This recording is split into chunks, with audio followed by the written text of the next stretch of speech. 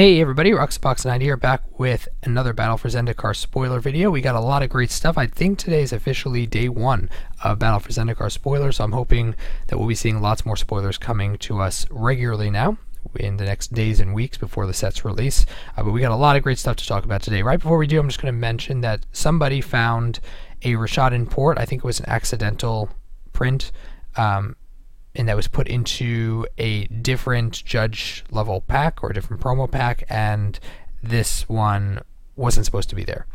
But it was, which shows us that down the pipeline, which we kind of already knew from past uh, past info dumps, we kind of already knew this was going to be a card. Here it is, foil Rishadan Port. For those who don't know, the original set foil is many, many hundreds of dollars. The judge promos tend to be a lot less even though they can often be more than the original non-foil version, they're usually a lot less than the original print version, especially for really rare cards like Mercadian Mask. Uh, the Rishadan port from Mercadian Mask, which the foil is crazy rare and crazy expensive. I really like the art, I like the flavor, I like the design, and I don't know when it's coming down the pipeline, but when it does, keep an eye out if you're looking for one because it'll be really cool. I'll let you guys know if I find out more. Planar Outburst. Yay, the art from the trailer smashing Eldrazi heads, but not more than one, so why is this a wrath spell? I have no idea, but it is 5 for a wrath spell, destroy all non-land creatures. Cool mechanic because there's a land or lands in the picture fighting, and they're not dying. Everything else is going to die, all the creatures. Really cool. It's basically end hostilities for the environment, which I think is fine. I like that it has Awaken 4 for 8 mana, because it means as an 8 mana Wrath, you're left with a 4 4 after the fact, which is very solid if you were wrathing the field that late in the game, having it 4 4, which could potentially attack immediately if you put it on a land that's, you know, if you have your land untapped, it could potentially attack immediately, 4 4 haste, and wipe the field for 8 mana. Very scalable, very good card. Obviously, it's going to see play, uh, at least sideboarded for control decks. I could definitely see it seeing even more play. Uh, very cool design, and I love the art. Deep Sea Scavenger, 2 for a 1 1, Devoid, Death Touch, and Jest, 5, 3 in blue black. Draw a card, each opponent exiles top card. Uh, I like and dislike this card. I like this card because it's a really cheap Eldrazi. It has Death Touch, which makes it kind of like a. Uh, um, as an early drop, Death Touch tends to be very good in limited environments. And having a mana sink that draws cards is usually good. What I dislike is that the mana sink ability seems rather weak. For 5 mana, drawing one card, and the exile effect is just 1, seems for 5 mana a lot, a lot to ask, especially for a rare. And the fact that it's black and a blue as a 2 drop, potentially annoying because it's very color demanding. If unless you're playing a black blue deck, especially if they're encouraging Converge to be something, then it's going to be difficult to run three, four, five colors, say, and have this guy as your two drop. Unlikely going to happen. Um, but we'll have to see what archetypes the Eldrazi fall into. Blue black seems to be something that they're they're fitting as a niche.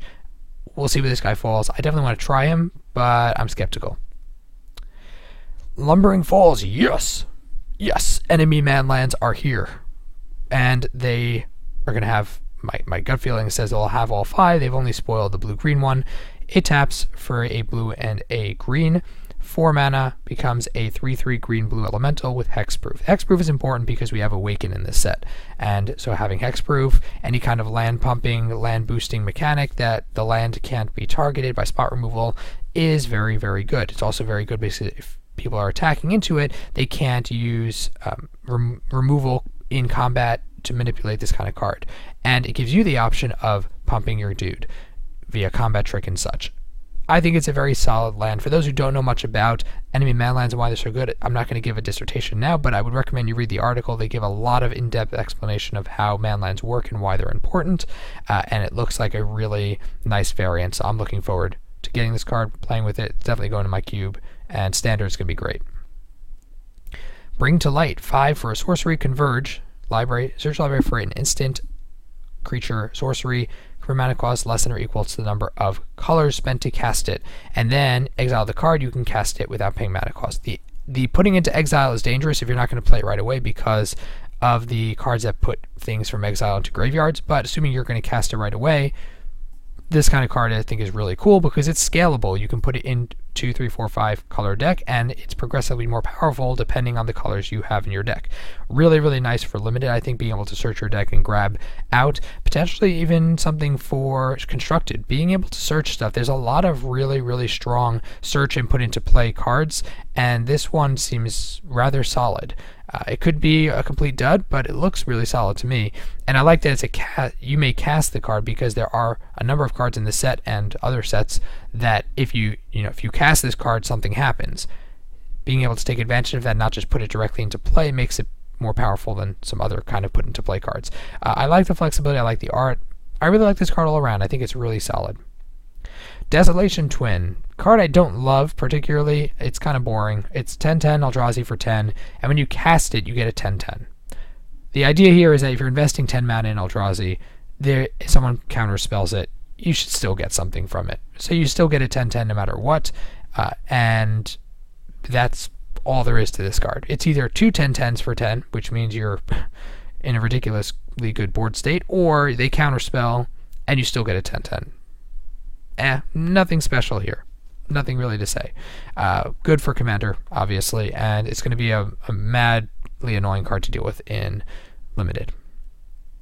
Lastly, we'll go through the promos quickly from Battle for Zendikar. Scythe Leopard, 1 1 for 1 with landfall. It only gets 1 1 till end of turn. This is, it reminds me of, I forget, I always forget the name of cards, but there was a card from the original Zendikar set, 1 for an 01, that would get I believe, 2 plus 2 until end of turn when you played from landfall.